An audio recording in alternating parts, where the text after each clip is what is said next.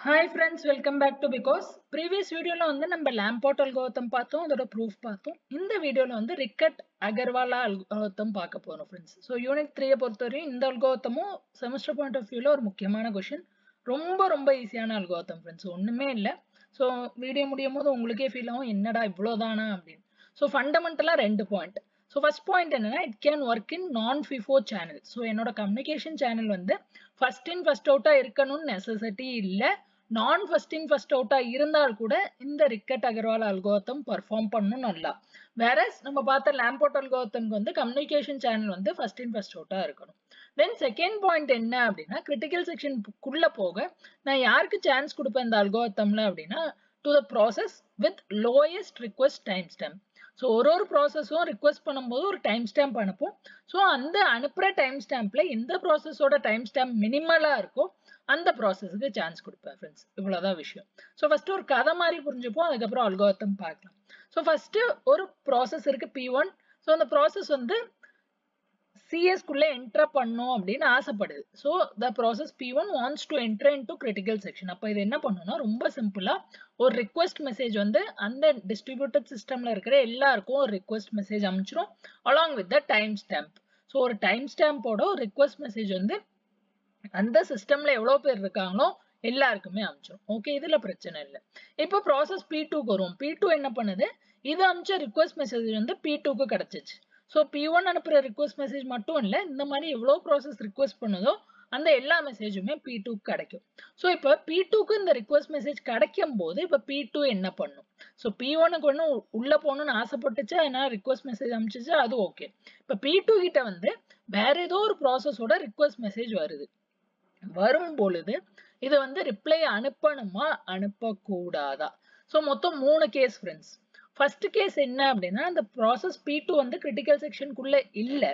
So அது already critical செக்ஷனுக்குள்ளே இல்லை. யார் இல்லை? பி டூ இல்லை.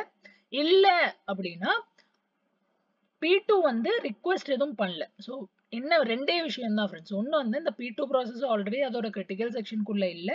இன்னொரு கேஸ் என்ன அப்படின்னா பி டூ கிரிட்டிக்கல் செக்ஷனுக்குள்ள போகணும்னு ஆசைப்படல. தட் இஸ் அது ரிக்வஸ்ட் மெசேஜ் வெளியே யாருக்கும் அனுப்பல. ஸோ ரெண்டு கேஸ் இப்போ நம்ம எதை பற்றி பார்த்துக்கிட்டு இருக்கோம்? ப்ராசஸ் பி டூவில் பி ஒன்னோட ரிக்வஸ்ட் வந்தால் என்ன பண்ணுன்னு பார்க்குறோம். ஸோ இதில் கேஸ் நம்பர் ஒன் என்ன? ஆல்ரெடி பி டூ சிஎஸ்குள்ளே இல்லை.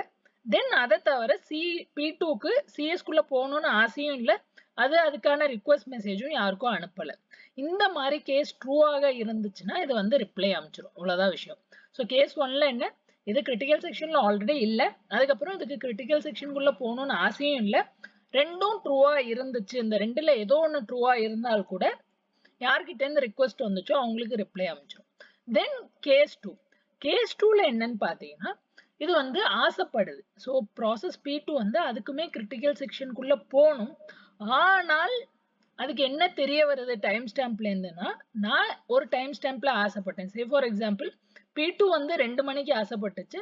ஆனால் அதுக்கு டைம் ஸ்டாம்ப்லேருந்து என்ன தெரியுது அப்படின்னா பி ஒன் வந்து say for example one fifty PMK ஆசைப்பட்டுருச்சு. இதான் case number two I want to enter but the other process has made request earlier so எந்த ப்ராசஸோட ரிக்வஸ்ட் என்கிட்ட வந்துச்சோ அது வந்து ஏர்லியராகவே உள்ள போகணும்னு ஆசைப்பட்டுருச்சு. அப்போ நம்ம இந்த அல்கோத்தமில் என்ன சொன்னோம்? யாருக்கு கம்மியாக டைம் ஸ்டாம்ப் இருக்கோ அவங்கள தான் நான் உள்ளே போக அலோவ் பண்ணுவேன். ஸோ இந்த கேஸ்லையும் ரிப்ளை அமைச்சிடும் ஸோ ஃபர்ஸ்ட் கேஸ்ல எப்போ ரிப்ளை அனுப்புறேன்? நான் கிரிட்டிக்கல் செக்ஷனுக்குள்ளே இல்லை இல்லை நான் உள்ளே போக ஆசைப்படல அப்போ ரிப்ளை அனுப்புவேன்.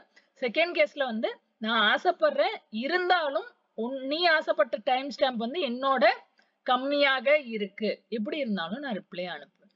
ஓகே இப்போ நெக்ஸ்ட் வந்து case number three case number த்ரீல நம்ம என்ன பண்றோம் அப்படின்னா இந்த கேஸ் ஒன்னும் இல்லை கேஸ் டூவும் இல்லை.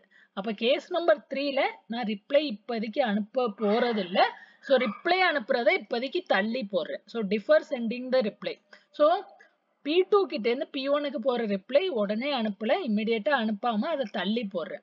ஸோ அதை தள்ளி போட்டிருக்கிறங்கிற விஷயத்த மானிட்டர் பண்ண இருக்கிற எனக்கு அரே பேர் தான் ஆர்டி அரே ஸோ இந்த ஆர்டி அரே என்ன? Reply deferred array so reply deferred அரேக்குள்ள என்ன இருக்குன்னா ஒரு ஒரு ப்ராசஸ்லையும் இந்த ரிப்ளை டிஃபர்ட் அரே இருக்கும். சே ஃபார் எக்ஸாம்பிள் என்கிட்ட மூணு ப்ராசஸ் இருக்குன்னு வச்சுக்கோங்களேன். P one P two P three இப்போ நம்ம பி டூவை பத்தி பேசிக்கிட்டு இருக்கோம் ஸோ பி டூல ஒரு ரிப்ளை டிஃபர்ட் அரே இருக்கும். ஸோ இந்த அரேக்குள்ளே என்ன இருக்கும் அப்படின்னா எந்தெந்த ப்ராசஸ்க்கு நான் தள்ளி போட்டிருக்கேன். Say for example RD of two என்ன குறிக்குது? இந்த டூ வந்து எந்த ப்ராசஸோட அரே இது?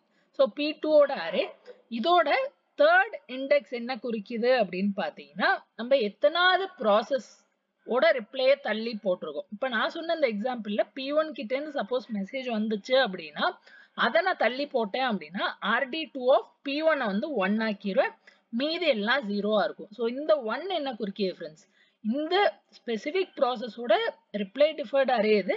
ஸோ இந்த ரிப்ளை டிஃபர்ட் அரேல ஏதோ ஒரு இண்டெக்ஸ் வந்து ஒன்னாக இருந்தால் அது என்ன குறிக்கிதுன்னா இந்த ப்ராசஸ் வந்து இந்த கரஸ்பாண்டிங் இண்டெக்ஸ்ல உள்ள ப்ராசஸ்க்கு அனுப்ப வேண்டிய ரிப்ளை வந்து தள்ளி போட்டுருச்சு.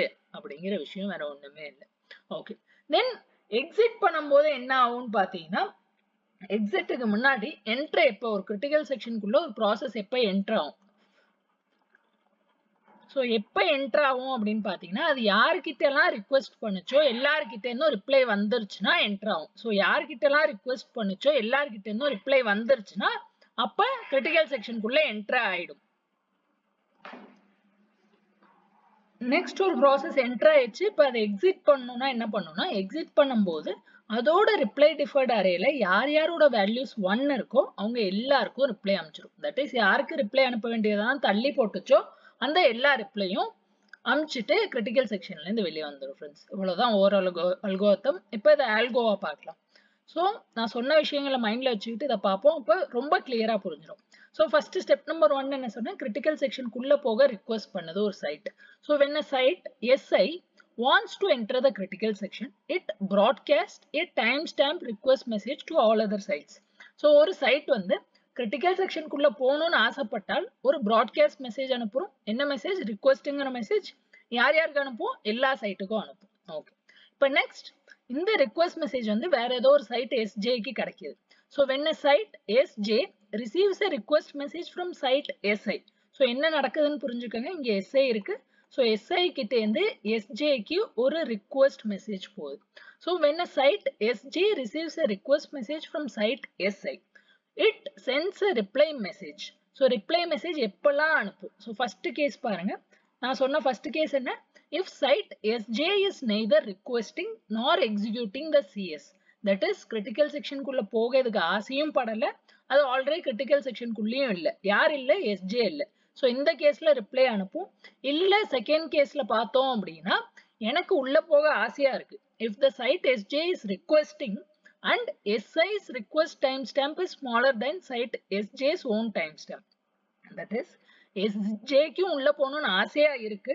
அப்படி இருந்து கூட நான் ரிப்ளை அனுப்புறேன். ஏன் அனுப்புறேன்? ஏன்னா எஸ்ஏ எனக்கு முன்னாடியே ரிக்வஸ்ட் பண்ணிருச்சு. இதோட டைம் ஸ்டாம்ப் வந்து என்னோட கம்மியா இருக்கு. ஸோ அதனால நான் ரிப்ளை அனுப்புறேன்.